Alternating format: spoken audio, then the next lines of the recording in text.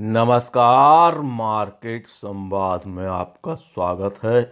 यह उत्तर प्रदेश का झांसी है और अब झांसी कितना बदल रहा है और कितना बदल गया है पिछले 10-15 सालों में, इसकी एक झलक दिखाने के लिए हम आपको एक ऐसे स्थान पर लेकर आए हैं, जिसका नाम ग्वालियर रोड है। जी हाँ ग्वालियर रोड के हम एक अटल चौक पर आए हैं।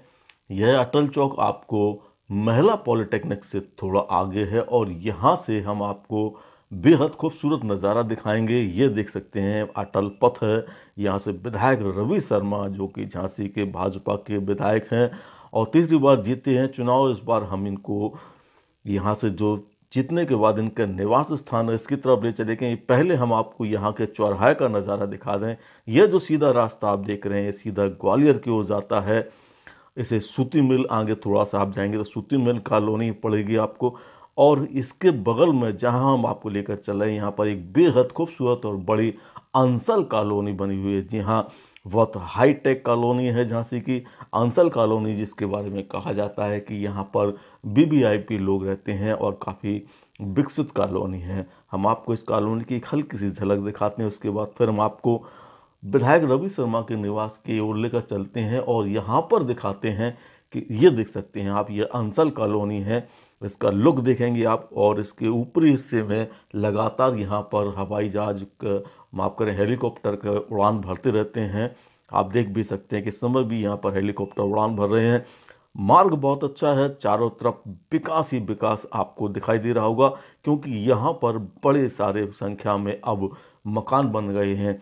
और यह मार्ग सीधा अटल पथ से अयोध्यापुरी जहाँ की भाजपा विधायक रवि शर्मा का निवास है, उस मार्ग पर हम लेकर चले हैं। देख ही सकते हैं कि इस समय गर्मी का मौसम है और पारा लगभग इकतालीस डिग्री से ऊपर है, बयालीस के करीब है, लेकिन इस मार्ग पर जो पेड़ लगाए गए हैं, उससे थोड़ी हरियाली आपको नज़र आ रही होगी। बदलते स्वरूप में हम आपको इसके बारे में थोड़ा सा बैकग्राउंड बता दें।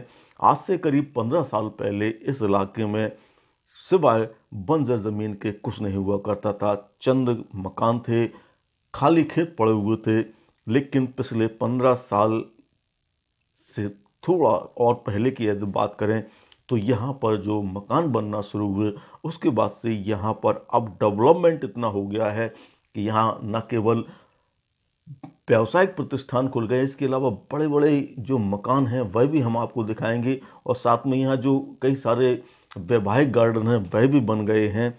दोनों तरफ़ का जो नज़ारा है, वह थोड़ा सा प्राकृतिक होने से बहुत अच्छा लगता है। यहाँ पर एक शिव दुर्गा नगर भी है, ये हम आपको दिखाते हैं।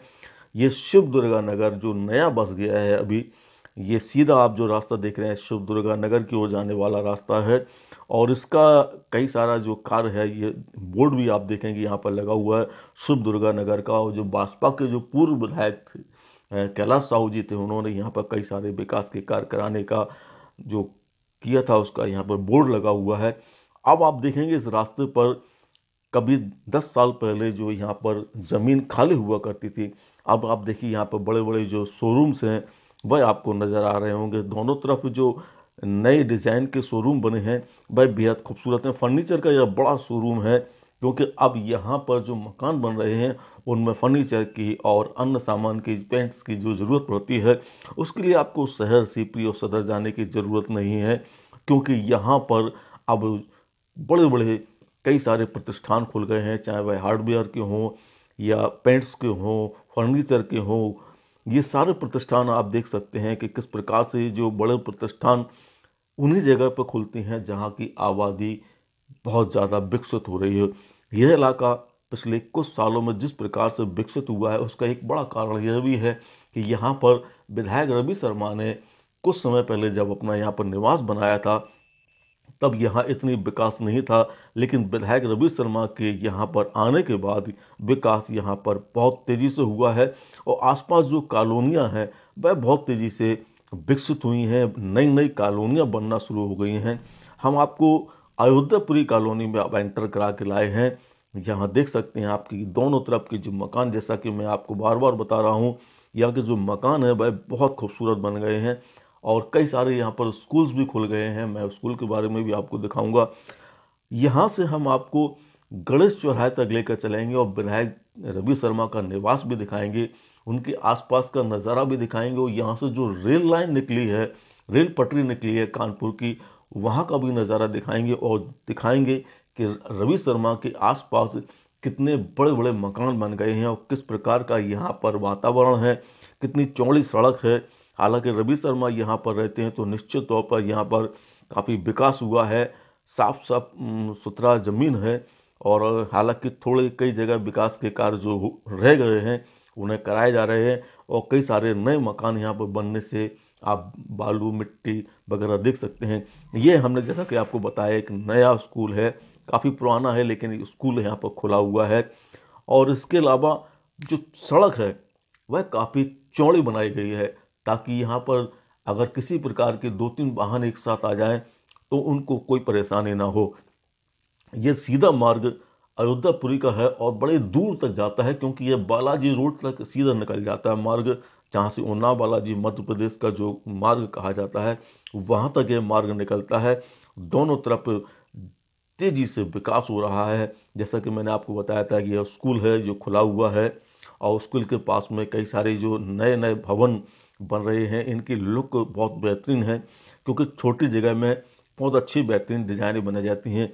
यह मकान आप पूर्व तहसीलदार जी का देख रहे हैं। खरे जी हैं, तहसीलदार हैं, पूर्व उनका मकान है। और यहाँ से जब आप थोड़े से चंद कदम चलेंगे तो एक बहुत खूबसूरत दुर्गा जी का मंदिर है। ये मंदिर हम आपको दिखाते हैं। कॉलोनी में इतना विशाल मंदिर बनाया गया है। भव्य मंदिर बना दिया गया है। पहले यह छोटी सी एक जगह थी जहाँ पर देवी की प्रतिमा विराजमान थी, लेकिन अब इसको बहुत विकसित करके बड़ा स्थान पर बना दिया गया है। और यहाँ पर जो लोग हैं उनकी एक सबसे अच्छी बात, जैसा कि मैं बता रहा हूँ कि लोग इस यहाँ पर हरियाली को बहुत पसंद करते हैं कि चारों तरफ़ यहाँ पर आपको कॉलोनी में जगह जगह पेड़ मिल जाएँगे, जिससे आपको थोड़ी सी ठंडक भी महसूस होती है। इकतालीस डिग्री तापमान में आप इस सड़क पर चलेंगे तो जो पेड़ पौधों की छाँव है, उससे आपको काफ़ी राहत मिलेगी। यह इलाका हम जहाँ पर आपको लेकर चलते हैं सामने, जैसा कि बताया कि अयोध्यापुरी का इलाका है और कई सारे यहाँ पर रास्ते हैं जहाँ से आप उनाव बालाजी रोड पर भी जा सकते हैं और ये जो चल रहे हैं, जहाँ से हम आपको नए मकान दिखाते हुए, यहाँ से आप रवि शर्मा विधायक जो हैं, उनके निवास की ओर हम आपको लेकर चलते हैं। ये जो दीवार लिख रहे हैं ना, यह दीवार विधायक रवि शर्मा के निवास की है। उनका निवास का एक दूसरा हिस्सा है जो कि निवास के ठीक सामने है और यहाँ भी विधायक का आवागमन बना रहता है, यहाँ पर उनके समर्थक वगैरह रहते हैं। ये इलाका देखेंगे जैसे, ये ठीक सामने जो आप मकान देख रहे हैं, यह विधायक रवि शर्मा का निवास है। जैसा कि आप देख सकते हैं, यहाँ भी हरियाली भरपूर मात्रा में है और यह सीधा रास्ता उनाव बालाजी मार्ग का है, जहाँ मैंने आपको बताया कि जो कानपुर रेल मार्ग है, वहाँ से जब ट्रेन यहाँ पर गुजरती है तो किस प्रकार का यहाँ पर माहौल होता है, वह आप देखेंगे। हम आपको दिखाते हैं कि कुछ पलों के बाद यहाँ से ट्रेन निकल रही है और वह ट्रेन जब यहाँ से दौड़ती है तो पीछे कई सारी जो कॉलोनियाँ हैं और ये मुख्य मार्ग चल रहा है उन्नाव बालाजी के देख सकते हैं आप, यहाँ से जो ट्रेन निकल रही है और मुख्य मार्ग पर गाड़ी वाहन चल रहे हैं। कितने खूबसूरत नज़ारे के साथ में पीछे कई सारी बड़ी बड़ी कॉलोनियाँ अब यहाँ पर विकसित हो गई हैं। पंचवट्टी कॉलोनी है जी की कॉलोनी है, इसके अलावा थापक बाग है, बहुत सारा इलाका यहाँ पर इंक्लूड होता है। पहले यह इलाका, जैसा कि आपको बताया, करीब पंद्रह बीस साल पहले यहाँ पर जंगल था। लोग यहाँ पर आने से कतराते थे, क्योंकि उनाव बालाजी मार्ग तक जाने के लिए सिर्फ़ एक बस का साधन हुआ करता था, लेकिन अब यहाँ पर 24 घंटे ट्रैफ़िक रहता है और आवागमन काफ़ी है। यहाँ पे बड़े बड़े स्कूल हो गए खासतौर से भानु देवी गोयल, जो सरस्वती विद्या मंदिर है, वह भी इसी मार्ग पर है। और पूर्व मंत्री भाजपा के रविंद्र शुक्ला का भी होटल यहाँ इसी मार्ग पर बना हुआ है। आप यहाँ से जो चलेंगे तो गणेश चौराहे तक जाएँगे। गणेश चौराहे से आपको थापक बाग बीकेडी और अन्य जगह पर जाने के साधन उपलब्ध होंगे। यहाँ से एक बार फिर आपको ये सामने जैसा कि दिखा रहा हूँ मैं, ये रवि शर्मा का निवास है और यह मुख्य मार्ग पर हम खड़े हुए हैं, जो उनाव बालाजी का मार्ग है। और इस मार्ग से थोड़ा सा चलने के बाद हम आपको अब गणेश चौराहे पर लेकर आएँगे, जो कि अभी नया बन गया है, जिसका नाम अभी रखा गया है गणेश चौराहे। पहले इस चौराहे का नाम गणेश चौराहे नहीं था। यह फ़िल्टर बाग का चौराहा कहा जाता था। फ़िल्टर चौराहा कहा जाता था इसे क्योंकि यहाँ पर जल संस्थान का कार्यालय है, जहाँ के जल की आपूर्ति होती है, इसीलिए इसे फ़िल्टर चौराहा कहा जाता था। लेकिन पिछले कुछ सालों में इसका नाम बदल कर अब गणेश चौराहा कर दिया गया है।